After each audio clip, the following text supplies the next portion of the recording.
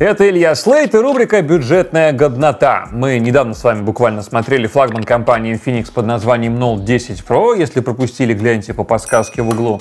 На этот же раз к нам в лапы попала их новая модель. Буквально с завода в продажу она поступает 13 июля, а сегодня ее потрогаем мы. Это Infinix Hot 10s, и здесь внутри спрятался аккумулятор аж на 5000 мАч, при том, что смартфон стоит всего 12500. Горячий ли он на самом деле и заслуживает ли в принципе вашего внимания, сейчас будем разбираться. И первое, что сразу обращает на себя внимание, это, конечно же, задняя панель. Да, это пластик, но узор стал посимпатичнее, в отличие от, например, флагманской модели, по крайней мере, на мой вкус. Красивый, подчеркивает дизайн, и, кстати, от самого флагмана по дизайну эта модель ушла недалеко. В нашем распоряжении модель серого цвета, на российском же рынке будет доступна черная и зеленая. Сканер отпечатка пальцев перекочевал с боковой грани на заднюю панель, работает он, кстати, все так же шустро. Блок камер тоже изменился в сравнении с флагманом. Здесь у нас три сенсора, основной из которых на 48 мегапикселей. На нижней панели сохранился джек, тут же монодинамик и разъем microUSB. И да, к сожалению, быстрой зарядки мы тут не увидим. Боковая же грань полностью повторяет Note 10 Pro, ровно как и фронт. В целом, за счет плавных форм корпуса смартфон реально очень хорошо лежит в руке, и несмотря на огромный экран, пользоваться им удобно. Тут нечего сказать. Дисплей у нас здесь на 6,82 дюйма на IPS HD+. И на самом деле в супербюджетном сегменте видеть 90 Гц очень приятно. А у нас здесь именно такой случай. А частота считывания касаний в два раза больше. Вообще надо отметить, что эта модель в принципе рассчитана на тех, кто хочет реально большой экран и бесконечное время работы. Так еще и задешево.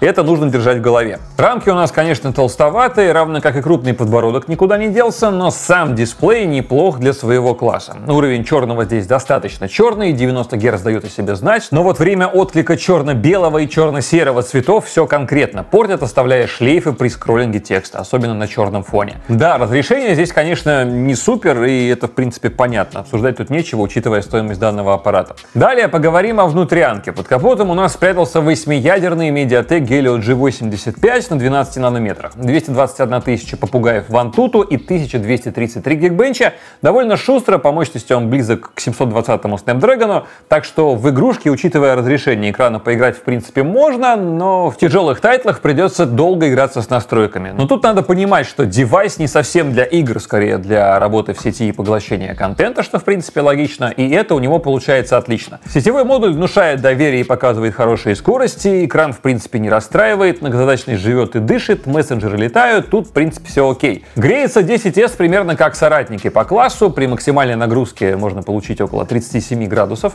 что, в принципе, нормальный результат.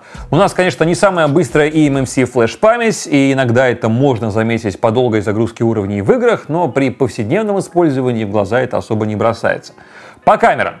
Видно, что Infinix пытался выжить реально максимум в данном бюджете, отчасти у них это получилось.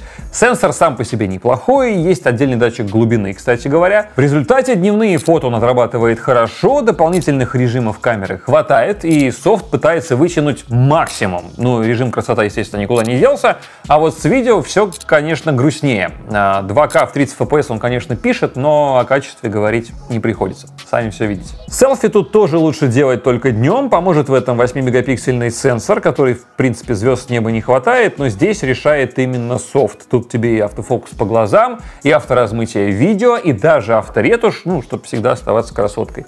Режим красота, помнишь, да? Про оболочку я подробно рассказывал в видео про Note 10 Pro. Тут картина, в принципе, та же. XOS 7.6 на 11 андроиде, дополнительных фишек и приколюк довольно много, всякие темы, режим конфиденциальности, и ведет она себя, надо сказать, отлично. Тут придраться особо не к чему, не считая, наверное, рекламы внутреннего магазина, который, в принципе, можно снести, и он раздражать не будет. Также есть странноватый и навороченный игровой режим, который типа управляет распределением нагрузки ядер процессора и все такое. Но, в принципе, есть чем поразвлекаться, и даже режим защиты WhatsApp есть, но об этом я, опять же, уже говорил в прошлом видео. Далее пару слов про пресловутые 5000 мАч. Конечно, они являются одной из главных фишек аппарата в принципе и себя полностью оправдывают. По бенчмарку это 12 часов использования а значит, что для многих это будет, в принципе, до двух дней. И, конечно, клево, когда у тебя есть огромный запас по аккумулятору, можно не париться на тему зарядки, а здесь ты получаешь, в принципе, как раз такой результат. Сами Infinix вообще обещают 61 день в режиме ожидания, и я бы, конечно, это проверил, но у нас сейчас нет двух месяцев, чтобы это затестить полноценно.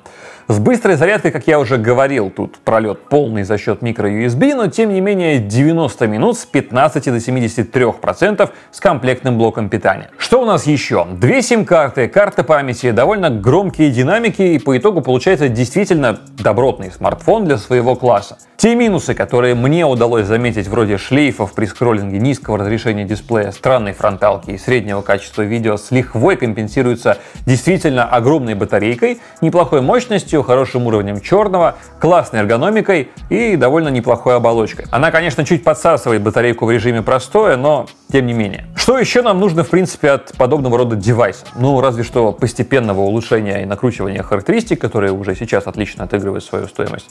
А значит, на него смело можно смотреть, если вы выбираете смартфон до 15 тысяч рублей. Осталось только упомянуть доступные комплектации. На выбор у нас 464 и 4128 при стоимости в 12 500 и 13 500 соответственно. Если заинтересовали, ссылочка на смартфон будет в описании под этим роликом. Ну а я на этом с вами прощаюсь. Пишите ваше мнение в комментариях, ставьте лайки, подписывайтесь на канал, если видео оказалось для вас полезным. А с вами был Илья Слейд. Всем удачи, хорошего дня и настроения. Пока-пока.